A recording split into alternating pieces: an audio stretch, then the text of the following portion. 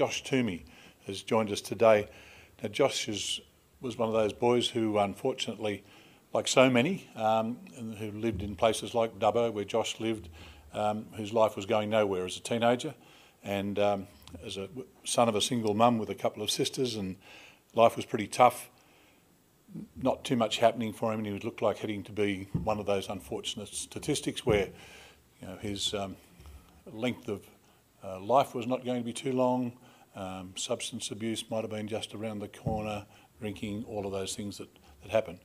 But Josh uh, had a mentor, his uncle, who uh, took him in hand at that stage and suggested he move out of Dubbo and head for the Central Coast. It was the start of his life turning around, and in fact, uh, with a pregnant partner about uh, six years ago, it'll turn your life around, won't it, Josh? Uh, he started to think, I've got to take things into my own hands here, and um, he picked up the Courier Mail. I hadn't heard of the Courier Mail. I've heard the Courier Mail, but um, there is a, a, publication called the Courier Mail, which I'll seek out in future, Josh, and uh, found a job there and uh, got a job with uh, Ausgrid and was trained by Ausgrid and now holds a Certificate 3 in electricity supply, uh, distribution, power lines and in 2011 at the Australian Training Awards he was awarded New South Wales Aboriginal and Torres Strait Islander Student of the Year. Let's meet him, Josh Toomey.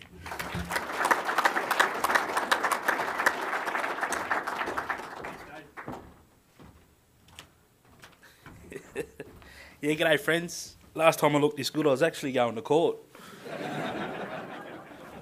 was a bad joke. Right, you're with me. Yeah, my name's uh, Joshua Toomey. I'm a proud Wiradjuri man, born in Dubbo.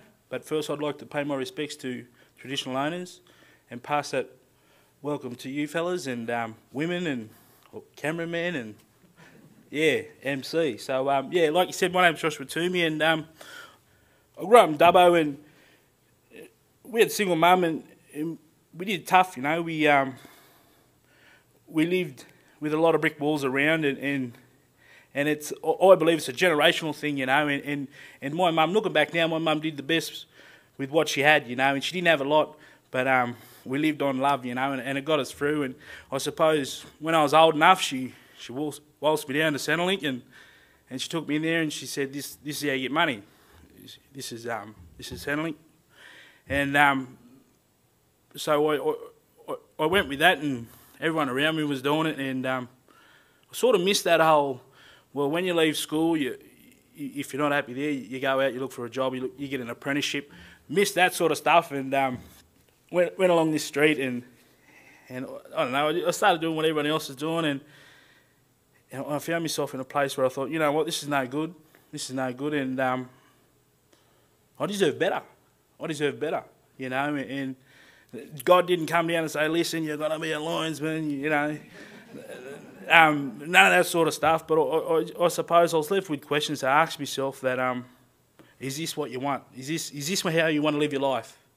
And um, the answers were no. You know, I don't want to live like this. I, I wanted to get out, I just didn't know how. I, I wanted help. And um, I had an old uncle from the coast, and he'd come down and he'd drive down in his car, you know, and he should spin out, hey, here's a lift, you know, and and he'd say, you know, when you're ready, you, you can come up the coast, you know, and um, and I was ready, and I went up the coast, and and it's probably the hardest thing I've ever done, but most rewarding, you know, just just like just like my apprenticeship with Ausgrid, and and I was flicking through this Courier Mail, and and I, and I seeing their ad, now Energy Australia back then, and uh, coming from coming from where I come from, you know, my confidence was gone, um, self esteem was gone. You know, I can't. My head told me automatically before I did anything, look, you can't do that. You, you, I've failed already. You can't do that. It, you know, it, it, just doesn't happen. And and I thought, you know what, I'll, I'll, just turn up. I'll give it a go. I'll just turn up and see what happens. And um, I turned up, and they um, and I come through a program called. Um, pre-apprenticeship program. It was 10 weeks at Petersham TAFE in Sydney, and so I signed up. I got into the hostel around the corner, and and for my first time, that C word, commitment, you know, and I started committing, and I thought, you know what, I'll turn up, I'll, see what it's like, and if it's not for me, I'll go because, mate, oh, perfect runner. All my life, I just run. When it got too hard, I'll run, take off, not for me, because it's easier. But um, I couldn't run into a pregnant woman because um, you know it wasn't about me no more. You know, I had to be responsible. in the way I grew up, I thought, you know what, I don't want my child to grow up like that, my son, and um, so I was rocking a hard place, you know. But um, like anything, I turned up, and um, it was suggested to me, mate, you keep it simple, you, you'd be half a chance, you know. And, and I thought, what do you mean? You know, and um, I found that out. I turned up when it was hard. I turned up when it was easy. I turned up when I went, didn't want to turn up. I turned up when I wanted to stay in bed. I, I just turned up, and, and the rest sort of worked itself out. And, and like anything, if, if you're riding a bike, you ride it long enough, and you learn to jump and wheelie and bunny hop and and through through my mass, that's what happened, you know. And I did this course for ten weeks, and it was the hardest thing I've ever had to do. Most rewarding. I come out of that course, and that first time, that feeling in here that no one can take away because you've earned it. It's a feeling in here, and mate, I was walking around, you know, smile ear to ear, and and all my, stu- uh, my classmates, you know, and, and we did it. We did it, you know, and, and for me, it, it was the tip of the iceberg. I, didn't know it then, but it was the tip of the iceberg, and and and, and I just I just had that feeling of you know what that yeah that's what that feels like, you know, and and it, and it was good. And went for my interview, um, you know, nervous, all, all this new sort of stuff, and I turned up, and I just went in there and and, and it worked itself out. You know, I, I just turned up and studied it.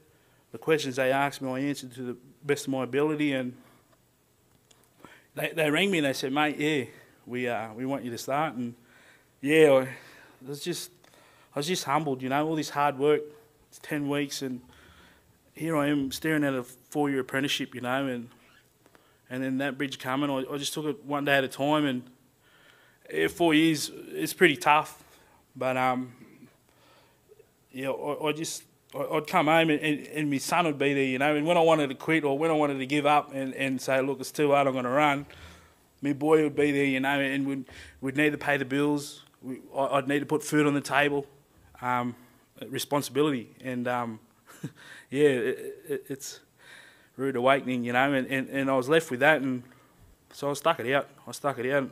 And, and come, from, come where I come from, you know, um, I had to deal with people, I had to deal with personalities.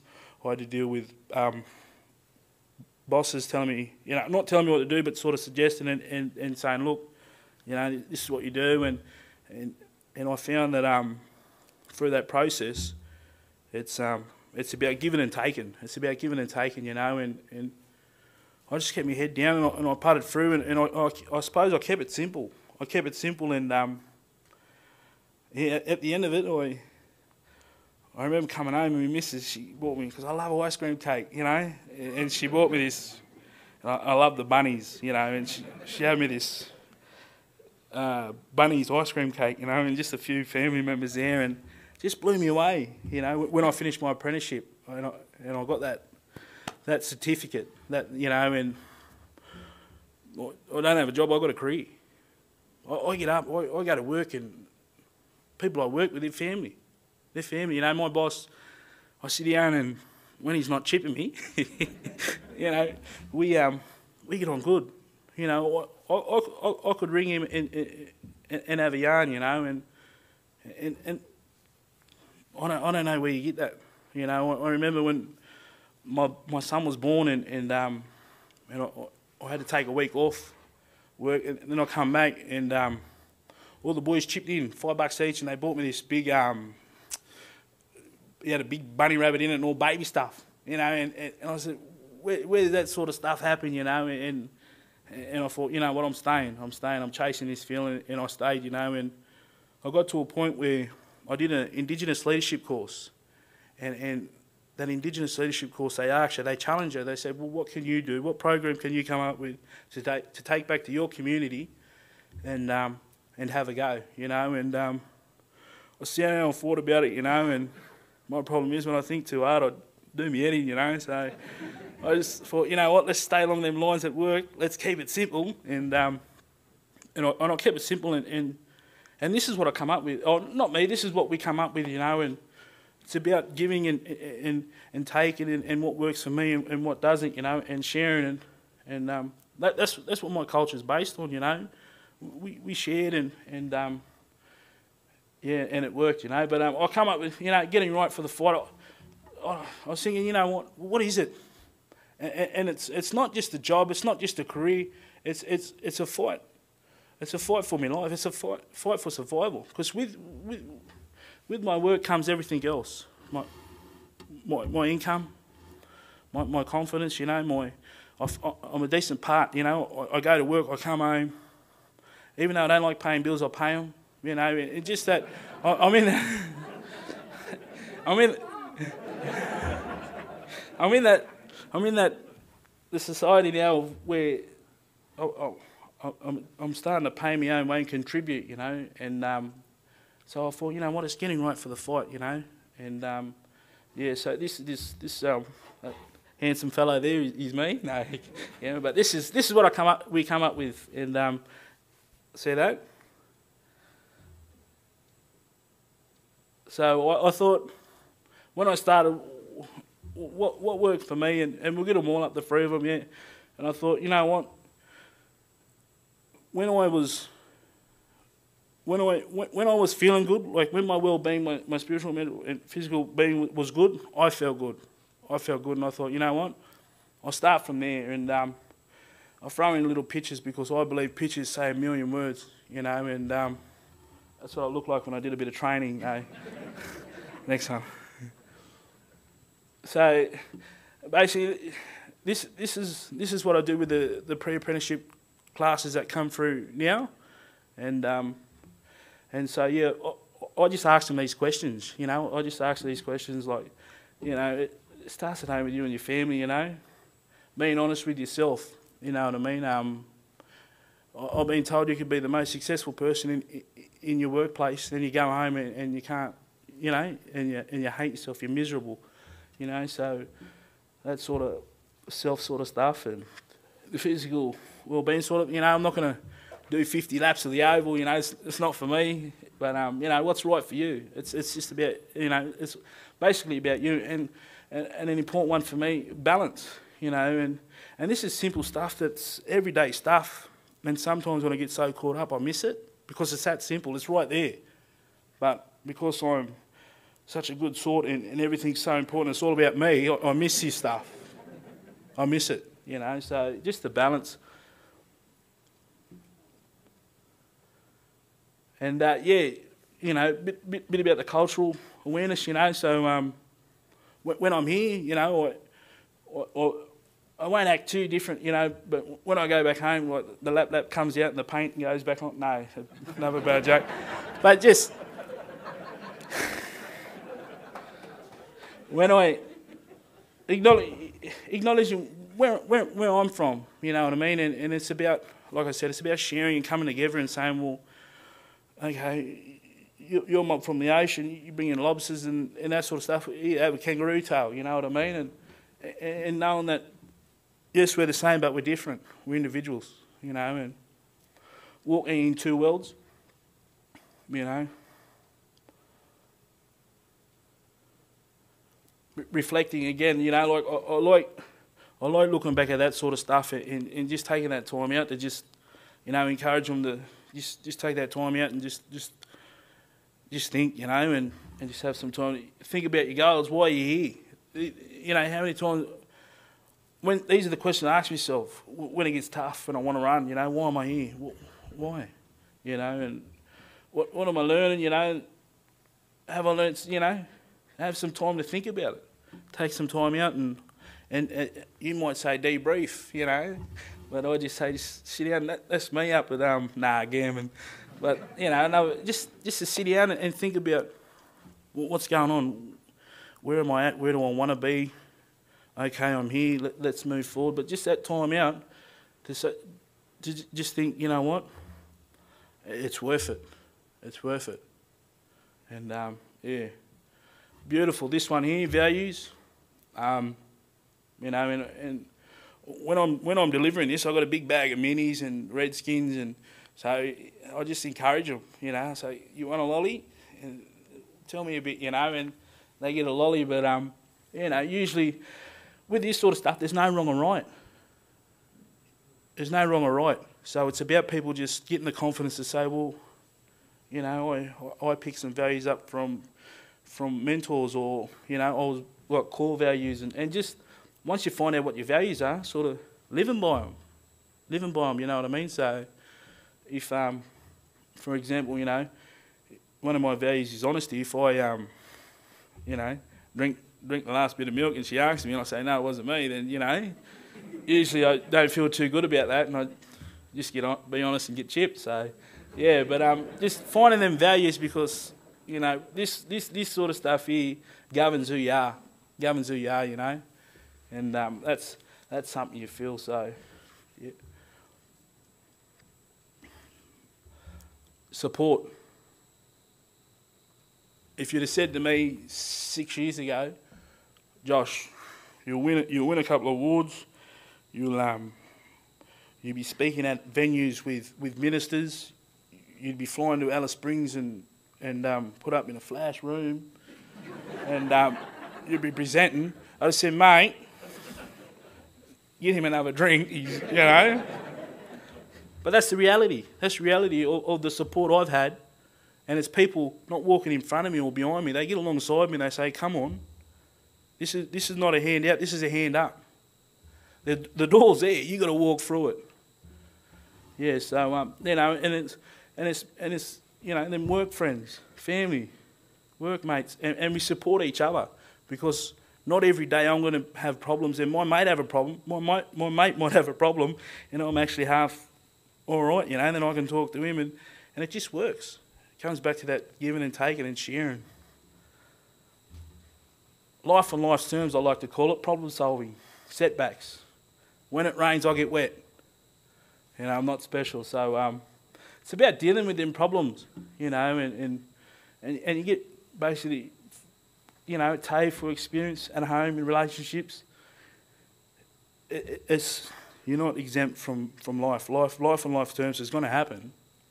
It's just all I can control is how I, how I react. So for someone, someone hits me, then I can get out and get going like a goose, or I can get out and say, look, get your details, and eight times out of ten I get out and go on like a goose. But it's about that. Okay, this this is happening. How, how do I deal with it? How, how, how do I deal with it and, and, and go about it the right way? Big one. This is a massive one, and I struggle and still do. You know, walang means cash back home. Like, yeah, any wallang But, um, you know, when I come through and I went from that welfare dependent to working and, and saying, okay, I got a, um, I got a wage comes in every week. There was no value of it. I, I never, never res- had that respect for money because I never worked for it before. It was given to me.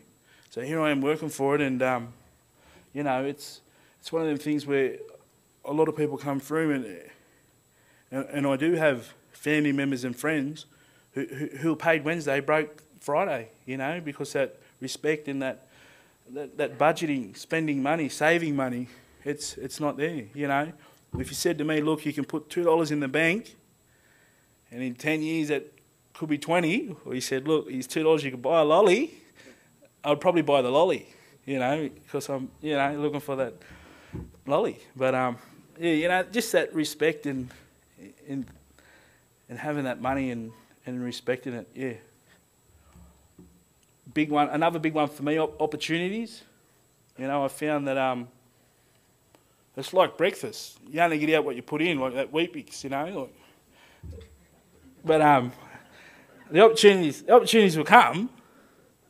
Opportunities are there, but it's what you you know, it's what you make of them, you know, and that's that's one thing I I, I, I really talk about because it, it's important, and that's everyday thing. The, the opportunities are there, but you're only going to get out what you put in. So if it's half effort, you get a half a result. You know what I mean? And, and for me, I want to make the most of my opportunities. I want to grab it with two hands, two legs, mouth, whatever I can, and, and say, look, I don't want to die wondering. I want to make the most of this opportunity.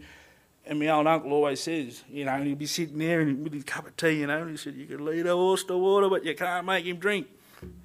You know, and, and I just thought, how true is that? Simple, and, and it, but it's, it's true, you know. So um, they're not going to give you nothing. You've got to earn it. Inspiration and, and, and role models. You know, this sort of stuff. Who, who, inspires you? How? You know, and this, and this is the stuff I'm asking them. And, and some of the answers, mum, dad, um, you know, my uncle, and, and it's usually it's the everyday heroes. It's the it's the little people that are just doing the the decent stuff that get the mention. You know what I mean? And, and then I, then I say, well, do you see yourself as a role model, inspiration? I believe everyone's a role model in their own in their own right. You know what I mean? At home, I'm a role, model. You know, my boys watching me, and so you know, and I, I got the choice. Today, I have a choice. What type of role model do I want to be? You know what I mean? And again, when I when I want to run and and give up, well then it's I can't. You know, it's there's too much to lose. And are you a role model? I've been in both situations. I feel like I'm the one screaming sometimes and the one just not listening because how important is this? Who's got teenage kids? Look at me, 27 year old person, you've got teenage kids. But, you know, talking and listening, really like listening. I, my missus will come home with a brand new shirt and I say, Where did you get that? I told you. We had that conversation, but I wasn't listening. You know what I mean? So she's safe, but really, really zoning in, really, really zoning in and saying, let's have a conversation. I'm hearing you. Let's talk. You know, and communication skills at work. You know what I mean? Especially with electricity, where I work. If I don't understand, I'll ask, and I won't. I won't do something until I understand. I won't climb a pole until I understand what I need to do you know. So um, understanding and I, who in your life's a, a good listener? Usually, mum, nan, um, cat, dog, you know. So, and we just encourage them to say, well, here, you know what a good listener is, and you know, just give them that sort of hands-on stuff. Questions again. I went into that earlier. Why ask a question? No question is a silly question. The one you don't ask is a silly question because it could, could save your life, could save your friend's life. Why do something you don't understand? And I get in trouble all the time with this. So we'll buy something from Kmart and I'll come home and I don't need to ask the question because it's on the box and I'll, and I'll do it. And I say, Kmart are good, they send us extra, extra bits. and, this, and this thing's a bit wobbly. She goes, hang on, let's stop. Let, let's do it. A A1 to AB, and oh no, and usually we get there, but you know, no shame. This is a big one for me. I um, when we were growing up, if you were recognised in our community, we used to bag you. Ah, look at him, la. He's um, he got an award, la. Look at him, and and, and we and we used and and, and it'll shame you. It'll shame you. You wouldn't wanna. You wouldn't want to do that stuff, you know. Whereas my attitude today is mate, congratulations, well done, well done. If this is what it's about, and and, and I want to get rid of that. I want to fight to get rid of that, you know, because this should be acknowledged. It should be good on you, mate. High fives, you know, and um, yeah, leadership. You know, what makes a good leader? What, what inspires other people to follow? You know, and, and just that, that everyday stuff, that, that, that stuff that gets them thinking, gets them in the engine room and it, it says to them, all right, what do you want to do? What do you want to do? And, and, the, and the people that come through the program, they could be, they could be 35, you know, with, with three kids, and or they could be just straight out of school. They're, they're all different. But this is just stuff that, that we ask them, and it, and it gets that passion going. It gets that. It gets them to say, "Well, hang on, I need to make a decision here. I need to get rid of the wishbone, get a backbone." because this this stuff here. No, you're right. This this stuff here is. It, it's not. It's not big. It's not leadership of Julia Gillard and, and, and that big stuff. It's about that little stuff. That that little stuff in here. The the, the me, the you. You know, because oh, again, I believe we're all leaders. Gold setting. That's when I used to do a bit of running. Nah, give I, I'd only run to the E. No. so, ambulance.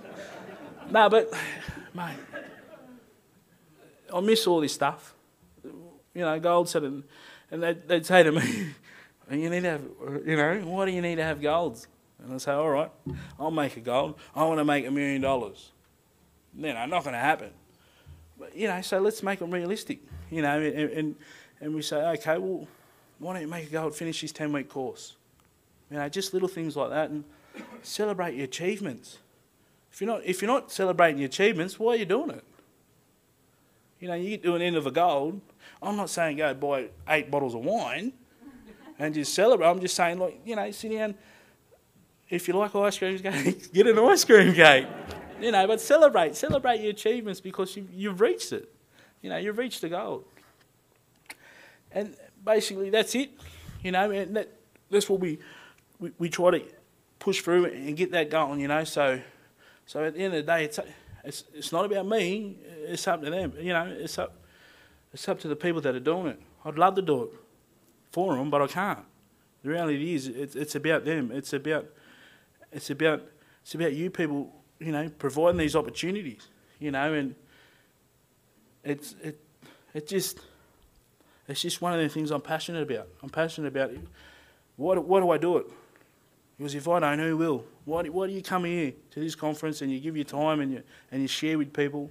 Because if you don't, who will? You know, and and that's what I look at it. So when I'm flat out laying up in that big bed and I'm you know, and I'm really thinking, why do I'm doing this? No, again, if I, if I don't, who will? If I don't come in and share with you what's helped me, then that's selfish. I'm holding on to that stuff that could change someone's life, and it's about changing lives, you know. And um, for me, that's what, and, and my group activity, I just give them, and I feel like a teacher. I give them a bit of butcher paper, put them in groups of three or four, and I and I say, all right, traditional and electrical, bring it together you know, and you get electrical kangaroos and, you know, they're all boogieing and that, but um, it's about that keeping it fun, keeping it fun, but look, we're here to learn. We're here to learn, we're here to work hard. We can enjoy it, you know, but um, yeah, we, we need we, we need to um, keep focused and um, yeah. So for me, if I, I try to keep it as simple as I can. Um, give give to you people what was freely given to me, and, and sometimes that's just a conversation time a day. Um, and, and, try to give people hundred percent, you know, hundred percent, and um, and generally it works for me for me. So um, thank you for clicking on. Uh, look, I know it's hard work, but thank you for clicking. Um, thank thank you for having me, um, and to, see non-Indigenous people, you know, fighting for the same sort of stuff I am just just blows me away. Just blows me away, you know. So um, thank you guys, and and um, yeah, so yeah, thank you very much.